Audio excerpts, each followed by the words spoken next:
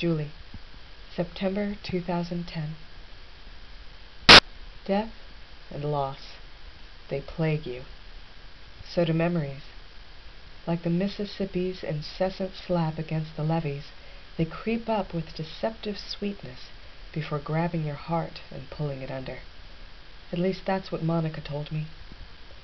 Monica had been the one with the memories of the great muddy river that cradled the Crescent City, and of the sparkling water of the Gulf, and the bright white house that sat before it.